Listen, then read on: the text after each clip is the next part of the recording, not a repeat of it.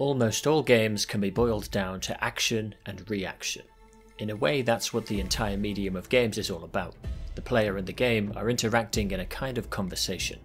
The player exerts their will and choices in the form of inputs on the controller, while the game presents them with audio-visual feedback, which prompts the player to make further choices in response to that feedback, and so on and so on until the player either succeeds or fails at their goal. Action and reaction. The player's own will on the one hand, and the player's responses to the game on the other. When these two elements are in equilibrium, the player can get into the much coveted flow state, taking in a steady stream of information, processing it quickly in their head, and outputting the results of their calculations onto the controller, in the ultimate dance between human and machine. Disregarding things like story and visuals for a moment, in a purely ludic sense, putting a player in this flow state is surely one of the highest goals a game can aspire to, especially given that this is an attribute entirely unique to the medium of games. Sekiro, at its core, is a remarkably simple game, which makes it an excellent case study in this phenomenon. If the enemy isn't currently attacking, you press this button. If the enemy is attacking, you press this button. Offense and defense, action and reaction. It doesn't get much clearer and simpler than this. On the occasion where Sekiro expects something from the player outside of these two responses, a big red warning sign flashes up on the screen to let you know you might need to press a different button. I want to be clear that this is not a negative criticism. Sekiro is one of my all-time favourite action games, and though its fundamentals are simple, there's a lot of variety built on top that keeps it interesting and satisfying, not to mention difficult, to the very end. And despite its underlying simplicity, Sekiro is a difficult game, but it's one that wants you to finish it. It's quite generous with mistakes, especially as you get closer to the end and have 10 healing charges, so you can see the credits roll without attaining anything even close to perfection or mastery and this is fine because in Sekiro there's no in-game difference between beating a boss with zero hits or doing it by the skin of your teeth. The challenge is complete either way, and the only motivation provided to the player is the opportunity to progress and see what's in the next area. For a genre that handles motivation very differently, we need look no further than the style-focused action games in the vein of Devil May Cry and Bayonetta. In these games, there is a difference between beating a boss perfectly and beating it after getting ground into paste multiple times, and the difference is in the rating you get awarded at the end. A big part of these games is in replaying levels to get high scores and ratings, which clearly appeals to a big chunk of the fanbase, although as someone who isn't motivated by scores, this isn't very interesting to me personally. That's probably why I'm not a big fan of the genre, and I've never devoted the time to actually get good at them. But anyway, my point is that games like Devil May Cry attempt to give the player an incentive to aim for mastery in a way that changes what it actually means to beat the game. Unlike Sekiro, it's not just about finishing a level at all costs. It's about playing it over and over again until you're good enough to do it in a stylish way with no mistakes, proving just how much you can clown on the game with your absolute understanding of its mechanics. While the incentives of scores and ratings don't really appeal to me, I still think that encouraging perfection is a compelling idea that can make a game go a lot further for both player and developer. But is there a way for games to incentivize mastery using mechanics alone? Well, I'm glad you asked because here is where Sifu knocks down the door and Roundhouse kicked his way into the conversation.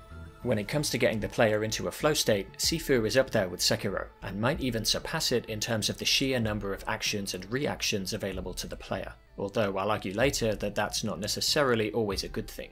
Where Sifu absolutely does stand head and shoulders above Sekiro, however, is in making fights against multiple enemies not only viable, but very enjoyable, and in fact almost every encounter in the game outside of bosses is against groups. While Sekiro is borderline unplayable when you're forced to deal with two strong enemies at once, Sifu is almost entirely built around group confrontations, and enemy behaviours and player abilities have been designed with them in mind. Like Sekiro, Sifu is a difficult game that you can expect to fail at repeatedly while you build up the muscle memory and pattern recognition necessary to engage with it. But once you've climbed the curve, it's immensely satisfying to ride that flow state wave. To encourage this flow state, Sifu does keep track of score, and it goes without saying that if you want to get the highest score possible, you need to practice enough to play perfectly while avoiding mistakes. But, as I hinted at a moment ago, thanks to Sifu's unique aging feature, it also comes with a genuine mechanical incentive to replay levels over and over until you can beat them with no deaths, which motivated me to actually get good enough to do it in a way that most games don't. And I'll explain all of that and more on the other side of this spoiler warning. There isn't a lot in terms of story to spoil, but part of the joy of this kind of game is in moving forward into the unknown and discovering what challenge comes next, so I think it's worth giving you the chance to duck out. If you're a fan of Sekiro and you enjoy the struggle of learning how to beat difficult action games, then Sifu is a must play, and you should come back after experiencing it for yourself. Sifu is a classic revenge tale. After a short prologue where Billie Eilish kills your dad and executes you at 12 years old, you're resurrected by a magical aging talisman and given the chance to exact your vengeance. Eight years later, starting from the conveniently round number of 20, you set out to get even with the five people responsible for your father's death, each one naturally waiting behind an army of nameless goons. I'm happy to be able to say that far from being a random plot contrivance, the aging talisman is a major mechanic in Sifu, and each time you die and get resurrected, your age goes up, with the exact amount depending on how many times you've died in a row on the same challenge. Crossing into a higher age bracket will raise your damage while lowering your max health, so just like in real life, boomers do the most damage. If you die above age 70, it's game over. At first I found that this aging mechanic turns the whole game into a neat little metaphor about revenge. The protagonist's quest for vengeance quite literally cost them years of their life. Except over time it becomes apparent that it only does that if you make mistakes and keep dying. If you're really good at doing revenge, then you get to have it while staying young, which I think is kind of funny. By the time you're good enough to do this, you've probably finished the game once already and are able to go for the true ending where you spare all the bosses. So maybe at a stretch you could say that there's still a metaphor in there somewhere about forgiveness being the better path over revenge. There's a hint of roguelike influence in Sifu, as failing a level sends you back to the beginning having lost whatever upgrades you gained or moves you purchased along the way, but this hard reset only applies to each level individually. After you beat the boss at the end of a level, you can then freely start the next one with whatever upgrades you got along the way, and crucially, at whatever age you beat the previous level, which has some interesting end results. This is the truly genius thing about the aging mechanic, because it's what provides an incentive to replay levels in order to beat them with as few deaths as possible. In most games, when you make a mistake and take damage, you're only hurting your chances of beating the current boss or area. When you make a mistake in Sifu and age up, you're hurting your chances of beating the entire game. Age is a finite resource, and only so many mistakes are allowed in a playthrough, so the result of all this is that you end up replaying the earlier levels over and over again to finish them at a lower age and give yourself a better chance at later ones. When you just barely scrape through a level at age 72, there's practically no point in starting the next one because you have no hope of getting through a new level with zero deaths the more logical thing to do is to start that previous level again, but do it better, or at least younger this time. To ease this process, you can unlock shortcuts and faster routes through levels that can get you to the boss more quickly and with less risk of taking damage and aging up. At first glance it would seem like these shortcuts more or less invalidate the parts of the level that are being skipped, since of course the most sensible route to the boss is the fastest one and that would be the case if not for the inclusion of the upgrade shrines, which can offer the player some valuable and some not so valuable upgrades. But these shrines can be missed if the player opts to use a shortcut and skip part of the level. The shrines are a great inclusion for this reason, as they introduce a calculated trade-off for the player to make. Get to the boss quickly at the cost of missing some upgrades, or get all the upgrades but have to take on a much higher risk of making a mistake. All of this, along with my own stubbornness, led to me spending several hours grinding out a no-death run of the first level without using any shortcuts, in order to get all the upgrade shrines and put myself in the best possible position for future levels. To repeat, in most games I wouldn't have much interest in replaying levels like this, but Sifu gave me a tangible mechanical incentive to do so, and it worked. I actually did end up getting good enough to beat the first four levels at age 20 while grabbing most shrines, because I wanted to save my mistake allowance for the difficult final boss, and there were a few interesting decisions to be made along the way. If you are trying to grab all the upgrade shrines, then the museum level is perhaps the most complex in terms of choosing a path through, with multiple potential routes that take you through different groups and combinations of enemies, although there are still sections of the level without shrines that you'll never visit again after beating them once and unlocking a quicker alternative. The tower level has a couple of shortcuts where you can deliberately throw yourself from a lethal height to skip some of the level at the cost of dying and aging up, which is an interesting trade-off I would have liked to see more of throughout the game, though hardly worth it in this case just to skip a single room of enemies. I think a better risk-reward balance would have been struck here if these falls didn't kill you, but instead just left you with a tiny sliver of health forcing you to start your next encounter on the back foot, but still saving you time in a way that could be considered worth it. One trade-off absent from the game that I think is a bit of missed potential is a more substantial change in moveset as your character ages up. I love that aging changes your stats, but I think this could have been taken further, maybe with certain abilities being lost or gained as you age into a higher bracket. If being older unlocked access to unique moves, there might even be an incentive to continue runs at a higher age rather than abandoning them. There's a touch of this in the game already, as some moves can only be purchased with XP under a certain age, but this is undercut once you've unlocked them permanently by buying them 5 times, after which they're available no matter how old you are. I'm not a big fan of this because it encourages grinding, and I feel that the devs missed an opportunity here. If moves purchased with XP worked like shrine upgrades and were only available on the current run, there would be an additional mechanical incentive to take the risk of fully clearing out a level before approaching the boss, in order to get as much XP as possible. The way I see it, this would give the best of both worlds. The player gets a sense that their choice of which moves to buy matters, but they also get to keep the moves they've invested in and grown accustomed to, unless they choose to start fresh with a brand new run from the top. In the current implementation where moves can be unlocked permanently after buying them 5 times, XP eventually becomes a useless resource after all the moves you care about have been unlocked. By now I've spoken a lot about the trade-offs involved in upgrades, special moves, and choosing which enemies to face, so it's about time I actually get into how combat works in Sifu.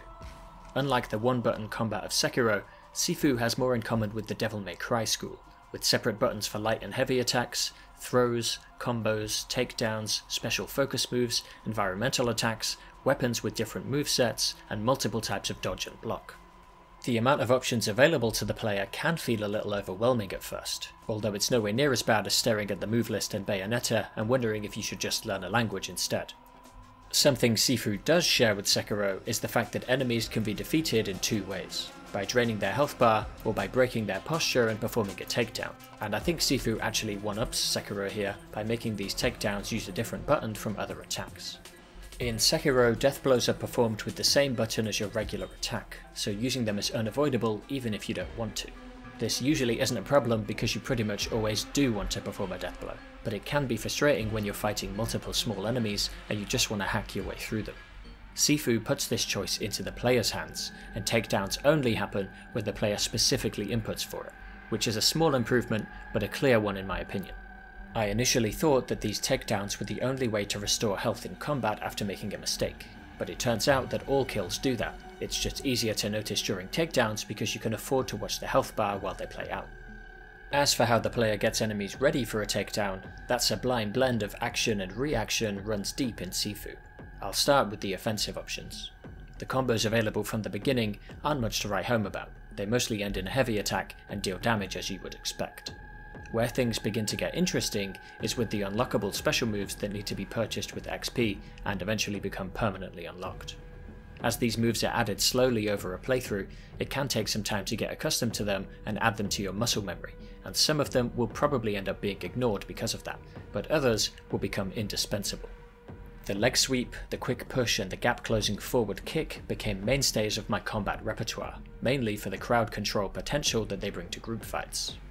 The key to these special moves is that they don't simply deal damage, they also change the states of enemies in other ways, either by knocking them down and disabling them for a time, or pushing them away from the group. This gives the player meaningful options that branch out into further options. Once you've floored an enemy, you can move in on him for free damage, or you can leave him to focus on other threats while he's down. When you push an enemy away from the group, you have a similar choice to make. You could follow after them with a series of strikes and get yourself away from the group too, or you can take the chance to focus on others. In case it isn't obvious, I find making these choices on the fly as part of an action reaction back and forth with the game immensely satisfying. Sadly, I do have a minor problem with the input method for these special moves. They require you to push the stick forward or back before pressing the attack button, which has the unfortunate side effect of sometimes causing your character to perform the move on the enemy in front of the camera rather than the one the player is actually attacking but control issues aside, the mechanical intention behind most of these special moves is sound, and they turn group fights into a struggle to move through and manage a crowd while continuing to deal as much damage as possible. For an example of a move I ignored completely, the ducking punch was a bit difficult to wrap my head around because it incorporates a dodge and an attack into one action, which goes against the simple programming I built up around when to avoid and when to attack, and it wasn't worth the effort to reprogram myself just for that one move. I'm more than willing to say that this is a problem with me and not the game though. For an example of an entire category of move that I ignored completely, and that my thoughts are a lot less generous towards, we need to look at the focus moves. These time slowing moves totally ruin the pace of a fight, and they feel like cheating to me. They give you an instant shortcut to interrupt an enemy's or a boss's combo with a disabling move that lets you get a few free hits in. And call me old fashioned, but it just feels boring and undeserved. Watch a speedrun if you want to see just how exploitable they can be. Because I was disregarding these flow destroying attacks entirely, it meant that a few of the shrine upgrade options, to say nothing of the unlockable moves themselves, were utterly useless to me. My initial goal of trying to reach the end of every stage with as many shrine upgrades as possible became pointless a few levels in, after I'd already got all the upgrades that were going to be useful to me, and after that point I started making use of more shortcuts. These focus moves are definitely not supposed to be relied upon because the final boss is immune to them, so I'm not quite sure about the rationale behind their inclusion, but in any case they can quite safely be ignored by anyone who dislikes them as much as me.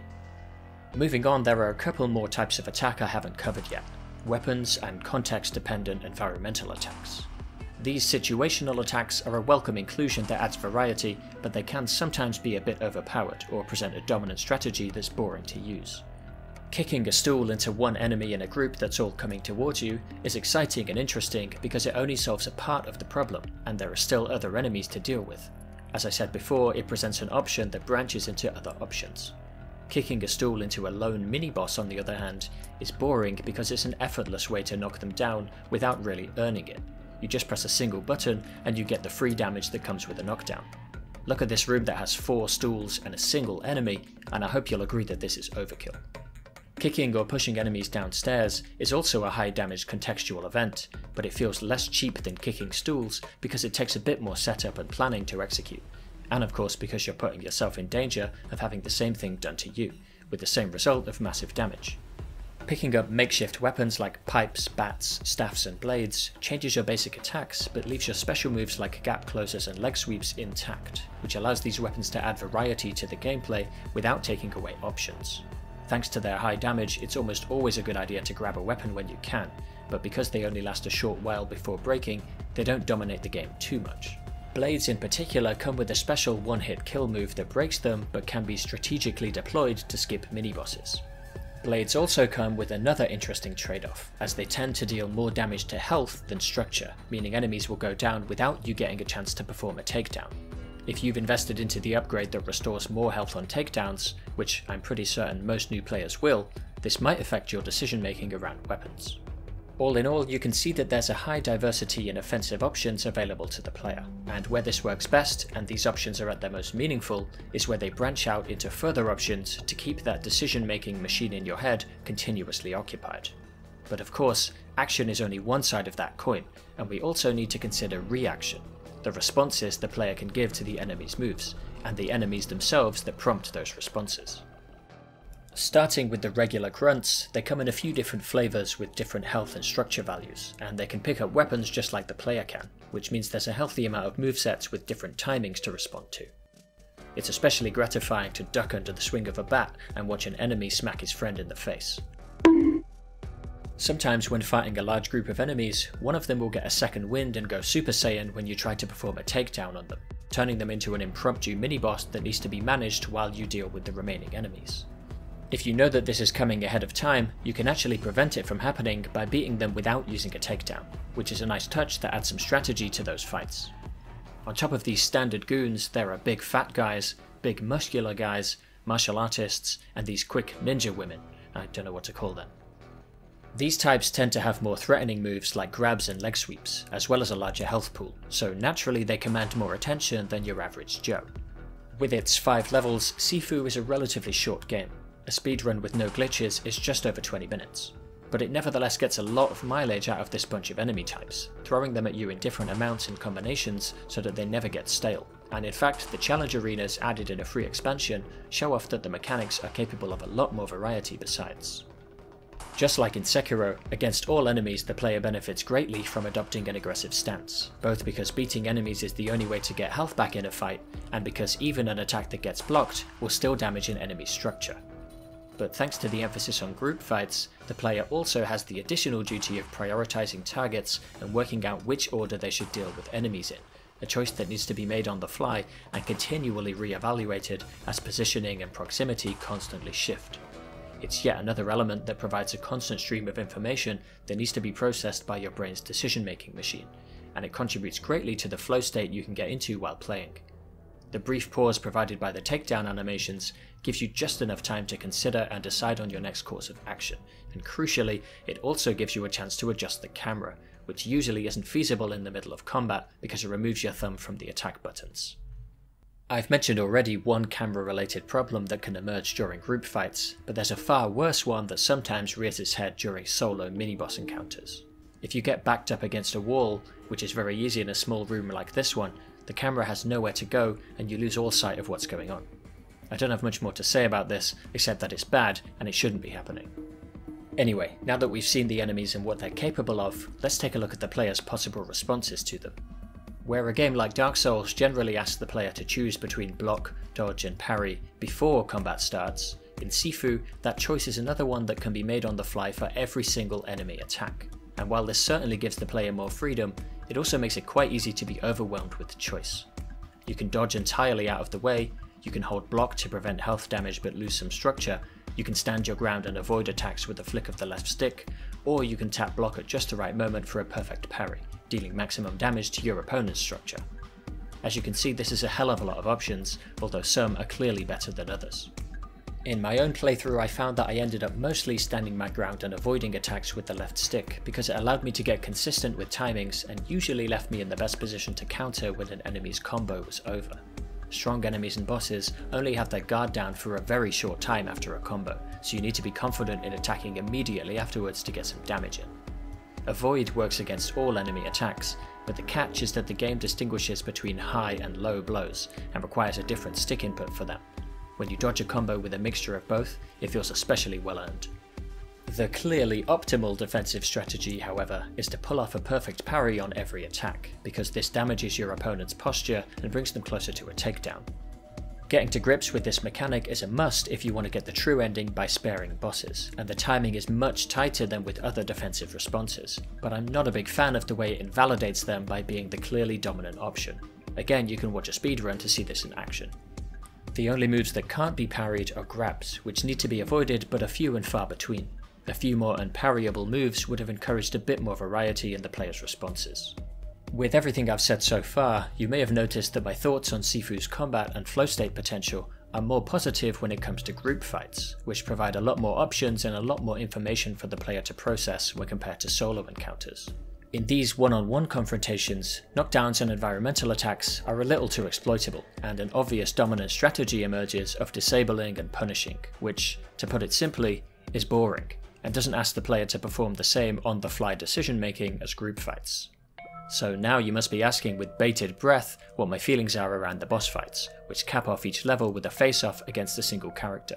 And the answer is mixed. Generally speaking, boss fights are a highlight of most games for me, a climactic challenge that stops you in your tracks and demands that you've learned enough about the game to get past them. Learning my way around a boss's moveset and climbing my way up their difficulty curve is a pleasant struggle that I doubt I will ever get bored of, and there's a good reason it's a tradition that's stuck around since the earliest days of gaming. The bosses of Sifu are satisfying to learn, and thanks again to the aging mechanic, you're incentivized to replay them again and again until you can beat them with no deaths. Where they're at their best is where they ask for a wide variety of responses from the player, like the second phase of the museum boss, who has a lengthy up close combo, a powerful gap closing thrust, and a projectile attack that you can catch and throw back at her. Excluding the final boss, the one that gave me the most trouble was the first phase of this one. I found the second part much, much easier. I think this first phase is so difficult because it's the highest amount of low attacks the player has had to deal with up to this point, and I found it quite hard to react and remember to use the different input when these were coming. Since I was able to spend the first half of the game only avoiding high attacks, suddenly coming up against a boss that used so many low ones called for a serious reprogramming effort on my part. This move in particular is a real bastard to avoid, but it feels so good when you get it right. The boss after this one, in the tower level, uses a similar number of low attacks, but I found her much easier to read because her high attacks are frontal, while her low attacks are lateral sweeps. I had a much easier time reading this and reacting on the fly, and I'd probably say the tower boss is my favourite of the bunch. Heading into the final boss, I was expecting a twist where it was revealed that he had a talisman of his own, and that the fight would proceed with both of you aging as you traded blows, but that doesn't happen, and it's just a standard, albeit difficult, confrontation. But anyway, it's mostly positive thoughts so far, and I mean it when I say that getting to grips with Sifu's bosses is satisfying, and the difficulty curve was pitched just right for me. Once you're at the top of that curve for any given boss, however, the same problems that are present in all the other one-on-one fights start to emerge. Namely that heavy attacks are a clearly dominant strategy thanks to the knockdown and the free hits you can get from them. The second boss provides the starkest example of this, as his small number of moves don't feel meaningfully different from each other a quick thrust, which I think he mostly uses as a gap closer, and two combos of three swings each, which are what you'll be seeing the most of if you stay close to him. Once you've got the timing down for avoiding or parrying these, you've pretty much cracked this boss, and your fights with him will start looking repetitive. While most bosses move around more and so offer a little more variety, this basic knockdown strategy still holds for all of them, and repeating this technique over and over again on every boss does start to get a bit old by the end of the game. In Sekiro, you're forced, or at least heavily encouraged, to make use of multiple different types of response while keeping up the pressure on a boss with constant attacks. In Sifu, you avoid, avoid, avoid, knock down, punish, and repeat. Much of my time practicing bosses was spent in devising the best way to maximize damage after avoiding their attack, which of course led to me using the same move repeatedly, although the exact move I did this with evolved across my playthrough as I came to better understand the game. In a group fight, knockdowns are just one move among many and are a healthy addition to the moveset because they always branch out into further options and more decisions to be made. In the mano a mano environment of a boss fight, however, this knockdown strategy dominates, but what's worse is that it steers you into a sort of ludic dead end, where only one action is possible, and after you hold B to give them a little slap, everything resets to a starting position. If we look at flooring an enemy in Sifu as the equivalent of launching an enemy in Devil May Cry or God of War, then I think it could have benefited from some kind of analogue to juggling, or at the very least, more than one option for what to do with a downed enemy. When you've learned all the boss's moves and have fully rehearsed your responses to them, there's no longer any problem solving to do or decisions to be made. You just play out whatever programming you've devised. In group combat this isn't possible because of the huge number of variables and actors in play, so choices constantly need to be made and adapted as you go. The decision tree is much broader and has more branches. The fact that I can beat some bosses with no mistakes at all, but still take the occasional hit of damage when moving through this corridor of enemies on the first level, tells you all you need to know. I think it's also quite revealing that the game only keeps score for the level until you reach the boss fight, at which point the game's decision tree narrows so much that there's apparently no longer any point in measuring score. So, to move towards wrapping things up, I think it's safe to say that Sifu is a game of two halves. Most of your playthrough will be spent in group fights, where there's a huge number of possible situations and positions you might find yourself responding to, and there's a good reason to experiment with your full moveset and make the most of your options and their different effects. Action and reaction exist in equilibrium, as you need to be constantly considering and re-evaluating your positioning, enemy priority, crowd management, avoiding attacks and dealing damage of your own. In the boss fights on the other hand, at any given point you'll be responding to just one of a small handful of moves, and that's it, and you can go ahead and forget half the move list because your only priority is dealing as much damage as possible. Most of the attacks that are available and useful in group combat become totally useless against a boss, and while it's an entertaining struggle working out the optimal response to each of a boss's attacks, once you've solved that problem, there's nothing left but memorization and execution. In other words, the boss fights are all reaction and no action. I do enjoy the bosses for what they are, but it's undeniable that they're missing something that's present in the group encounters. Sifu may easily surpass Sekiro in terms of group combat, but I think it misses that high benchmark when it comes to the boss fights and single encounters. And here is where Sifu provides a fascinating lesson in motivating the player, and what it means to get them into a flow state. When fighting bosses, I drifted towards a Sekiro-like one-button playstyle, always avoiding enemy attacks the same way, and always responding with some variation on a heavy attack. I've already argued that I did this because it was simply the most efficient way to deal damage, But I think another subconscious factor here was that playing in this way massively reduced the amount of information I had to keep track of. Once I'd solved the attack question, so to speak, and figured out that heavy attacks are dominant in pretty much every situation, I could exclude other options from the input output machine in my head and vastly simplify the mental load my brain had to compute. That may be an overly clinical way to put it, but I do think that this is what's happening subconsciously in your brain when you play a game like Sifu or Sekiro. Unless a game purposefully compels the player to make full use of all of the complexity in its mechanics, they will tend towards the simplest solution that makes the most efficient use of their brain power. Now that brings us one last time back to the question of motivation. How can you compel the player to incorporate all of that mechanical complexity into their playstyle? Like Devil May Cry, Sifu rewards a higher score for switching up your moves and using a wide variety of combos, but scores alone can't motivate every player. Where Sifu cleverly cracks this problem is in making sure that there are actual, tangible consequences to which moves you deploy in a group fight, and it's not just a difference in damage values. These choices change the states of enemies in meaningful ways, and each one ripples out to affect future possibilities. Combined with the aging mechanic that encourages replaying older levels repeatedly, the combat in Sifu eases you into a flow state and has the depth to keep you there for dozens of hours. Not bad for a game that can be beaten in 20 minutes.